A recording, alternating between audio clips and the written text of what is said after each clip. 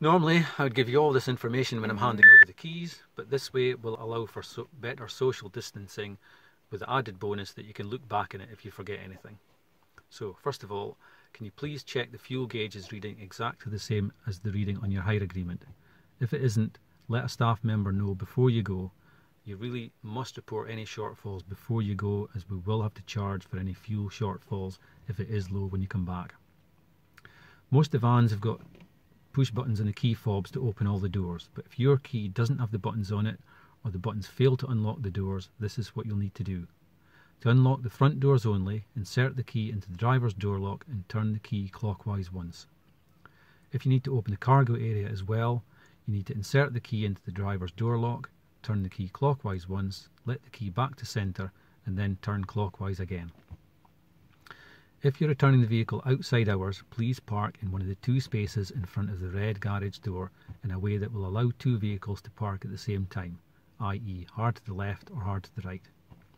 None of these spaces are available and you do have to use the on-street parking. Please remember, most of the time it's paid parking and it's limited to three hours. You don't have to pay for parking on Sundays, but you do have to pay Mondays to Saturday 8am to 8pm. Some of the bigger vans are too big to park in front of the garage without blocking the footpath, so please take a minute to think about when you do plan to return. When you do return, Please check the vehicle for any personal belongings before depositing the keys through the black key letter blocks in the small red garage door. Don't put the keys in envelopes because it will clog up the chute and it will make it easy for someone to fish out the keys and potentially make off with the vehicle that you've just returned.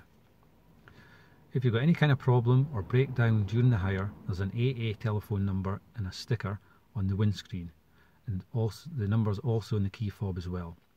If it's during office hours, can you please call the office first?